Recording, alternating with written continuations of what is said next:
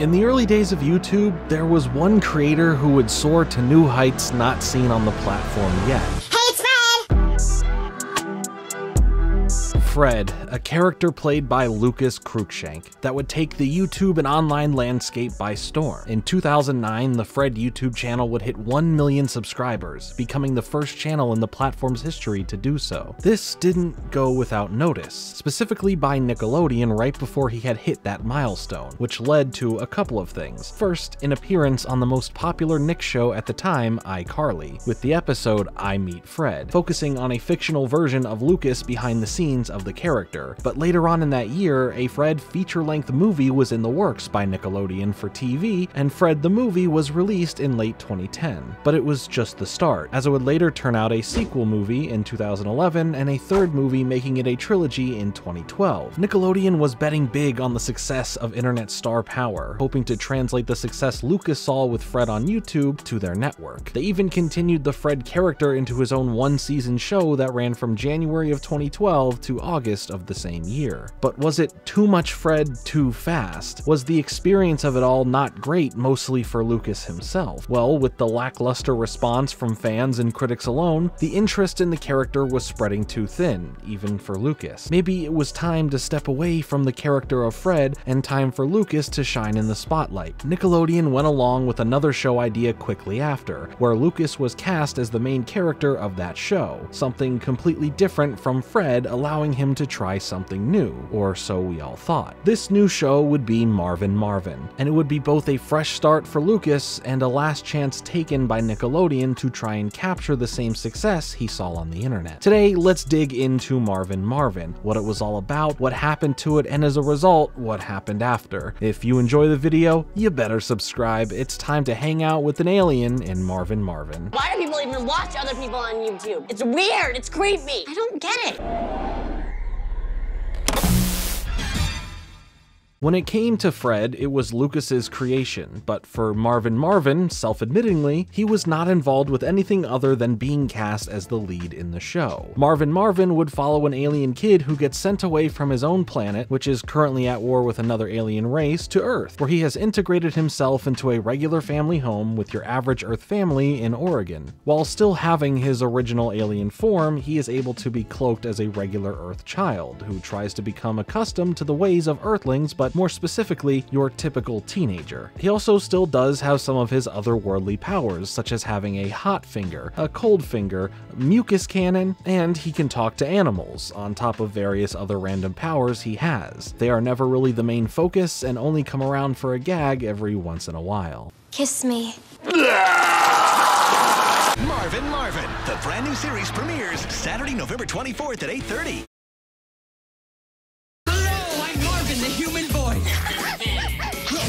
The family Marvin is a part of consists of Liz, the mother, played by Mim Drew, Bob the father, played by Pat Finn, Terry the daughter, played by Victory Van Tuyl, Henry the son, played by Jacob Bertrand, yeah, that's the hawk from Cobra Kai, also Chip Chambers from iCarly. Neat. And then there's Pop Pop, the grandfather played by Casey Sander. It's your typical household for a sitcom, but it's also different because they now live with an alien that they agreed to watch over when he landed on Earth. The series would follow Marvin's differences from everyone else, causing the majority of the problems for any sort of plots. Whether it's him wanting to attend school like a regular teenager would, evading special agents looking for an alien actively, or just trying to maintain his own customs from his home planet. It's really just Marvin getting into various situations and how he gets out of them. And of course, we'll learn some lessons along the way. He deals in feelings of love, getting both confused and excited of understanding the customs of Earth and wanting to fit in while still unapologetically being himself. We also have another recurring character, Terry's best friend Brianna, played by Camille Spirlin, who sometimes just gets tangled into all the shenanigans going on and even gets to learn about Marvin's true alien form in the 10th episode of the show when it became absolutely necessary for her to know. The characters on the show all play within their own molds, with the parents being protective but kind of dorky at times. Terry deals with trying to not be embarrassed by him at school, but isn't overly snooty about it, just a bit sarcastic in her enjoyment of it all. Henry is very much the little brother type, being in his own world, with his own stuff to do, and is paired a lot with the grandpa character, who is, a certainly a character. By the way,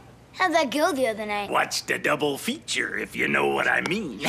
But what I really do like is that the family operates as a family, more times than all doing their own things or having conflict between the family members themselves that becomes overdramatic. It felt like a nicer breath of fresh air, but that ultimately doesn't mean the plots, dialogue, and all of that are all too original or great. The show is very much akin to the late 70s, early 80s sitcom Mork and Mindy, which had a similar premise somewhat, but that show is a classic, whereas Marvin Marvin has quickly become a forgotten show in the sea of every other Nickelodeon sitcom at the time. And what's also disappointing is the lack of a theme song. It really helps make so many shows memorable, at least at the bare minimum. But here, it's just an explanation of how Marvin got to Earth, and we only get the title of the show, Marvin Marvin, when the teacher asks him for his full name, and his new Earth sister is a bit embarrassed he's there, and doesn't want him to share her last name. So he says Marvin is also his last name. Boom, show title. And he even fights one of the reasons why. Yeah, the evil Bryce Walker, that's him. There really isn't a lot here for the show itself that stands out enough to thoroughly discuss. Now, comedy is subjective, but to me, it really never hit the label of being called a comedy. It's extremely aimed more juvenile than anything, usually having moments that are gross for the sake of being gross. Like, there's this minute long vomit scene where Marvin just vomits purple goo onto everyone. They talk about butts a lot, and that's really the humor in the show. There's always worry of a constant threat of evil aliens who are looking for Marvin in hiding that really only builds up in the final episode of the series. It sadly boiled down to relying on the star power of Lucas and the online space he comes from over making something because there was a vision, and instead feeling like they were making something for the sake of making something. And I am sure that there were some people who put their passion into working on this. Saying there wasn't would not be fair, but the final packaged product didn't come off that way in the grand scheme of things. It felt like it tried to be a marketable package with someone that they were trying to use as marketable bait. The show itself is the run-of-the-mill sitcom for Nickelodeon. It was in this new age middle ground area where it wasn't as interesting and well put together like the shows before it, like Drake and Josh, iCarly, Victorious, and many others from the mid 2000s era, and it never found the new age audience for more current live action shows and sitcoms from Nickelodeon, really being stuck in this middle child zone. No fault to Lucas himself, but with the network pushing hard on the Fred franchise having the show and the third movie for Fred come out in the same year that this show premiered was just too soon to try something new. By the time it premiered, the Fred character was too fresh in the viewers' minds for Nick. It was hard to shake off the identity of Lucas being Fred because of how synonymous his face was to the character. Plus, the personality of Marvin in the show, being zany and energetic, isn't far off from Fred's personality, you know, just minus the high-pitched voice. The reviews for the show weren't great, and while the viewership stayed between 1.7 to 2.9 million views an episode, it wasn't able to match that of the higher viewership of the other shows at the time. It couldn't reach those heights, and on April 27, 2013, the show came to an end and was ultimately cancelled. At least the final episode featured a crossover with Big Time Rush, which Nickelodeon also had a show for at the time with the same name, Big Time Rush, which was highly successful on the network and an easy way to get people over to that show before it would come to its own end after four seasons in July of 2013. Heck, even Lucas, not as Marvin or Fred, would make a cameo as himself in an elevator in the Big Time Rush episode Big Time Cameo. And before fully being done with Nickelodeon, he would voice a character in an episode of the Monsters vs. Aliens animated series for the network. But after all of that, in 2013, Lucas would be officially out of the spotlight. It's just kind of poetic that in the end of Marvin Marvin, he defeats aliens disguised as Big Time Time rush with helium that sounds like Fred's voice. Wow, can you imagine talking like that all the time? How weird. Hello, I'm Marvin, the human boy.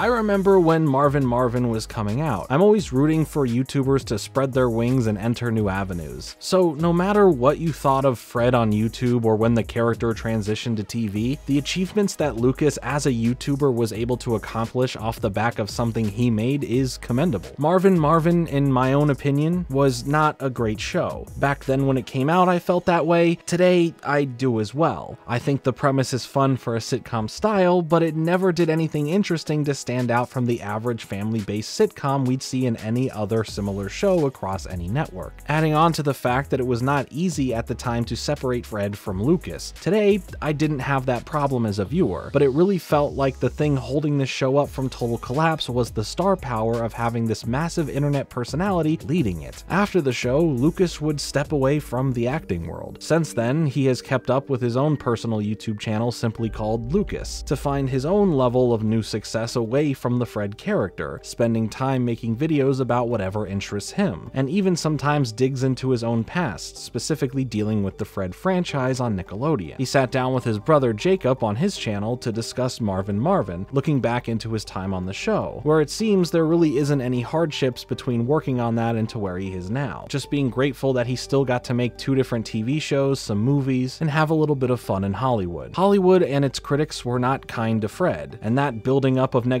mixed with his own annoyance from playing that character for so long, his throat getting sore from the screaming he constantly had to do, and not loving what the character was becoming under Nickelodeon's leadership led to Lucas having less interest in continuing it. He felt stuck, and it led to the Fred character having a definitive stop, and immediately jumping aboard to a new show with Nickelodeon. Marvin Marvin would end with a short run of 19 episodes and a statement from Lucas saying, I've been a Nickelodeon boy for years, and today it came to an end. So excited for new beginnings. He would officially be done with his time at Nickelodeon and the mainstream spotlight. The Fred channel and the character himself would be out of his hands and repackaged into whatever it is today. For Lucas, he enjoys his time out of Hollywood and back where it all started, right here on YouTube, making content fully that is in his control, the way he wants to make it, now having over 3 million subscribers and uploads about 2 to 3 times a month. While Lucas's time in Hollywood ended and he hasn't done anything else in that space since, I am happy to see him doing well back on YouTube creating the content that he wants to create, and he seems a lot happier with where he is at. That isn't to say one day he won't ever want to do something beyond this platform again, and if he does, I think he's far enough removed from the character of Fred to not feel as put into a box. Here's to you, Lucas. Keep paving your own path.